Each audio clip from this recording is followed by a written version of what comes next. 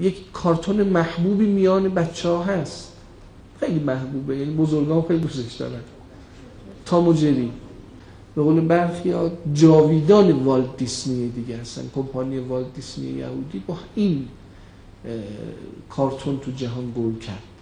و در سراسر جهان هم همچنان داره به نمایش در میاد. همچنان اون جایگاه خاص خودش رو با ملاحت ها و شیرین کاری هایی که موش و گربه به ویژه موش داره همچنان جایگاه خودش رو حفظ کرد میگن علت اصلی ساخت این با در حقیقت کارتون بسیار جذاب حذف یک لقب بوده در اروپا.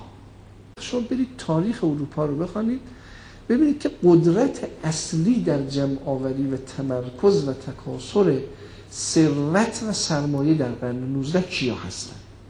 اکثرا یهودی ها هستن. شاید یکی از علت این که وقتی مثلا جریان یهود ستیزی رو هیتلر را انداخت و برخی تبلیغات وسیع که صورت گرفت سر کوره ها که البته مواردش درسته. حالا اینجوری نیست که ما از اونور بیافتیم این کل نه. واقعا شما فیلم فهرست شیندلر رو ببینید. اونجا بنابر این بود که هر کسی یهودیه حتما یه ستاره روی لباسش بزنه و اصلا یهودی پست و اصطلاح موش کثیف. تا مجری اصلا ساخته شد تا تصور اروپا از موش عوض بشه. این اصطلاح موش کثیف. یکی از مواردی که به کار می بردن این بودا. یکی از مواردی به کار می بردن این بود که خدمتتون از بکنم خب موش اگر دقت کرده باشید به شدت موزیه و کثیف. یعنی در میان اقوام و ملل هیچ تمدنی مثل یهود زیرپوستی عمل نمی‌کنه.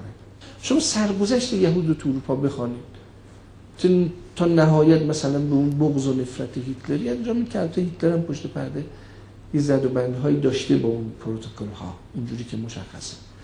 خدمتتون ارز بکنم که این تاموجری ساخته شد تا تصورش